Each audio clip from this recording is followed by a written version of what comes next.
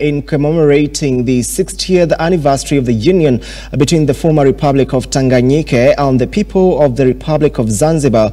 The event hosted by President Samia Suluhu took place at the Uhuru National Stadium, Dar es Salaam. The event was attended by other heads of state and the government from the South African Development Community and the East African community at large.